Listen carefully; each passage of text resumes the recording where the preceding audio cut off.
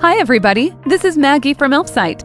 In this guide, I'm going to show you how to add a podcast player to your website. It will only take two minutes and you don't need any specific skills to do it. First of all, let's go to elfsight.com and choose the podcast player widget in the menu list. Click Create Widget. You can find the direct link in the video description. So let's create your widget. Begin by choosing a template that suits your case best. Click Continue with this template. To embed podcasts on the website, go to the Tracks tab and paste a link to the needed podcast website. You can choose the widget position on the Layout tab. Customize the track info, elements, and colors on the Player and Style tabs. That's it! Your widget is ready! Also, you can check other settings to adjust layout, size, colors, and fonts. Click Join to install to add the widget to your website. Log in or sign up to Elfsight apps. This is free, no credit card required. After you sign up, you'll see the widget that you have just created. Click Save. The next step is to choose your subscription plan.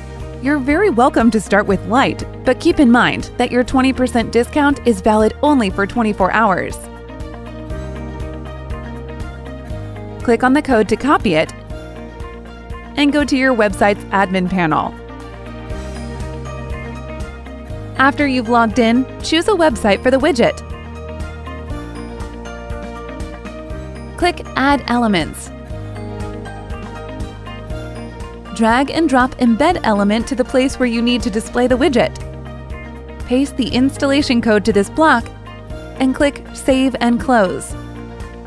To visually separate the widget from the rest of the content, we recommend to add 20 pixels margins. After you're done, publish the changes. Go to the page to check your widget. This is how easy it is. But if anything goes wrong at any stage, message us at support at elfsight.com. Also, we've got tons of cool and exciting widgets, and you're very welcome to try them out for free. Just click the link in the description. Thank you for watching this video. Enjoy your day!